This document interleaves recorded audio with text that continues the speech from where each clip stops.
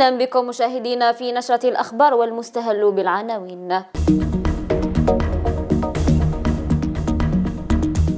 الشطر الأخير من الطريق السيار الذرعان رمل السوق بولاية الطارف تعرف بتدفق المركبات وسلامة وأمن الطريق. ملحقة للتكوين المهني بقرية الحوض ولاية البيض. تنهي معاناة تنقل المتربصين. خرجة ميدانية لأعوان رقابة بمصلحة حماية المستهلك بسيدي بالعباس أمن ولاية الجلفة يوقف ثلاثة أشخاص ويحجز كمية من المخدرات.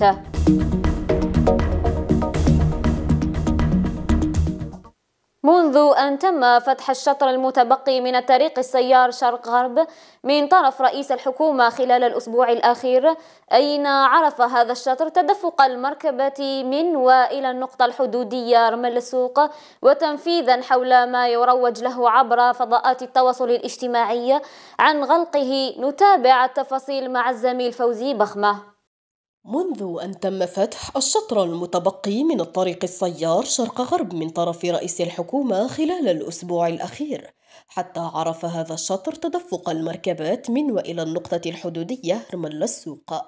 وحول تفنيد ما يروج له عبر فضاءات التواصل الاجتماعي عن غلقه كانت لنا وقفة من بداية الشطر بالذرعان إلى نهايتها برمل السوق حيث كان لنا لقاء على طول المسافة بمستعمليه وكذلك مع عناصر الدرك الوطني الواقفين ليلا نهارا على تأمين مستعمليها حيث تمكنا من نقل هذه الصور الحية التي تفند ما يروج من مغالطات حول فتح الشطر الأخير للطريق السيار على امتداد 84 بإقليم ولاية الطارف في إطار التواجد الميداني لوحدات المجموعة الإقليمية للدرك الوطني بالطارف على كامل الاختصاص الإقليمي وبعد فتح الشطر الأخير من الطريق السيار شرق غرب على مسافة 84 كيلومتر سخرت المجموعة الإقليمية كامل الإمكانيات المادية والبشرية لتأمين الطريق مع تجهيز سرية أمن الطرقات من خلال وضع نقاط مراقبة على طول الطريق القيام بدوريات ليلية ونهارية خاصة في المناطق الحساسة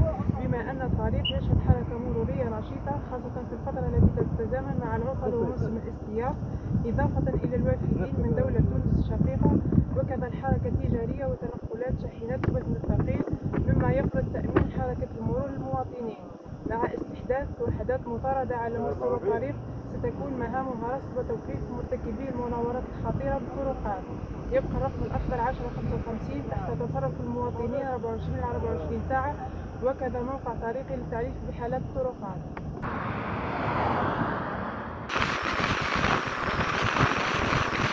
نحن اليوم في طريق السيار من ولاية الطارق مقطع ولاية الطارق على مسافة 84 كيلومتر. الذي تم وضعه حيز الخدمة يوم 12 أوت 2023 من طرف السيد الوزير الأول. الحمد لله إقبال كبير من مستخدمين هذا الطريق استفادت قرية الحوض بولاية البيض من ملحقة للتكوين المهني والتي ستخفف عناء وتنقل المتربصين إلى مراكز مجاورة. هذا وقد تم تدشينها من طرف السلطات الولائية والأمنية خلال احتفالات اليوم الوطني للمجاهد. التقرير للزميل جلال بن عمير. استفاد شباب قرية الحوض بالبيض بملحقة تكوين مهني تضم تخصصات تتناسب وخصوصية المنطقة. هذا وقد تم تدشينها من طرف والي الولاية في احتفالات اليوم الوطني للمجاهد. المقر تم تثمينه وإعادة الاعتبار. تحت تصرف الساكنة المنطقة من ملحقة للتكوين المهني والتمهين اللي راح يقدم خدمات لفائدة أبناء المنطقة وبنات القرية بصفة عامة. وثمنوا هذا كل ما هو موجود على مستوى القرية حتى يستقطب كل أولاد المنطقة من ذكور وإناث بمناسبة يوم المجاهد نشكر السيد الوالي لأنه قام بفتح أو تدشين هذه الملحقة اللي هي تعتبر انطلاقة جيدة لهذا الموسم التكويني الجديد. إذا هذه الملحقة آه، سعينا لفتح تخصصات آه، تخص المستوى التأهيلي لكل من الخياطة حلاقة السيدات إعلام آلي وطبخ وصناعة الحلويات وكانت مبادرة جيدة أنهم أعطونا هذا المقر لفتح هذه الملحقة للنهوض بمنطقة الظل وإعطاء فرص للتكوين لشباب هذه المنطقة. الملحقة ستخفف عناء التنقل إلى مراكز الولاية أين كان المتربصون من الفئتين يتنقلون في ظروف مناخية صعبة للالتحاق بمراكز التربص. مرة يكون من الاختصاصات اللي تفتح في هذه الدورة. نشكر سيادة الوالي والسلطات الولائية على الملحقة اللي تشنوها اليوم وخلينا التحقنا بمجال الخياطة خفر لنا التنقل بالولاية.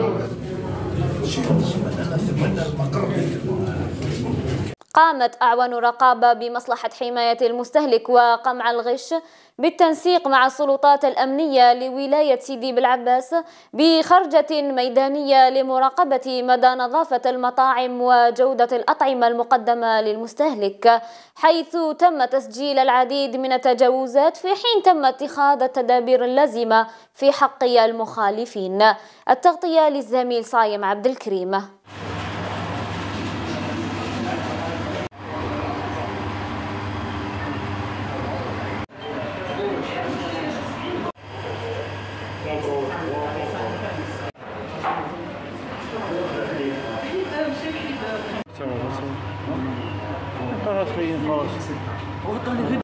الإتلاف إذا نحن قمنا مع عملية إتلاف البيض الدجاج وال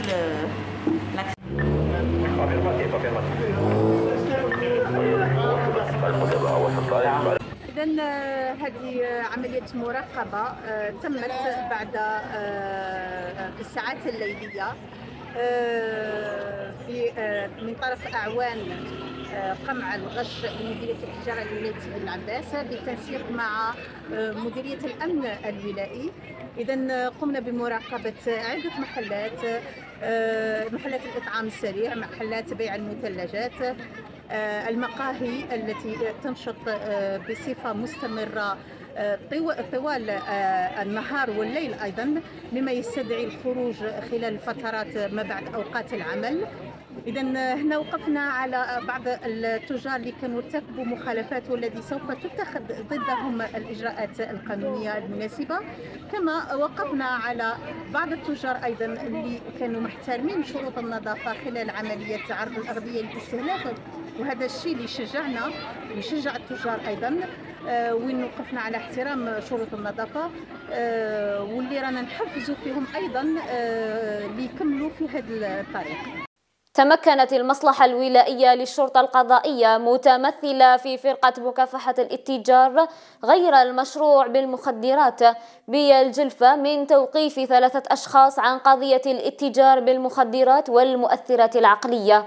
العملية أسفرت عن حجز 2850 قرص مهلوس من نوع بريغابالين بالإضافة إلى مبلغ مالي قدره 91 مليون سنتيم من عائدات البيع. وكذا حجز سيارتين وأربعة هواتف نقالة. تفاصيل أكثر مع الزميل شفيق تومية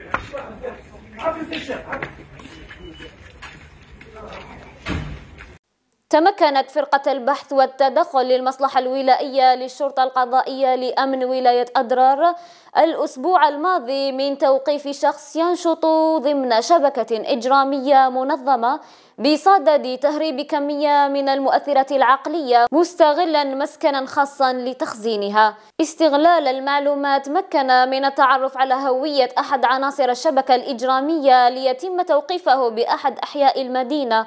وتحديد مكان السكن المستغل لإخفاء المؤثرات العقلية التي قدرت بعشرة آلاف وثلاثمائة وخمسة وتسعين كبسولة من نوع بريغابالين 300 ملغرام. ذات منشأ أجنبي. التحريات في القضية متواصلة لتوقيف المشتبه فيه. آخر من عناصر الشبكة الإجرامية بعد أن تمكن عناصر فرقة البحث والتدخل من تحديد هويته. تم تقديم المشتبه فيها الموقوف أمام السيد وكيل الجمهورية لدى محكمة أضرار عن قضية جناية تهريب على درجة من الخطورة تهدد الاقتصاد الوطني والصحة العمومية. تغطية وتقرير بن شيخ عيسى.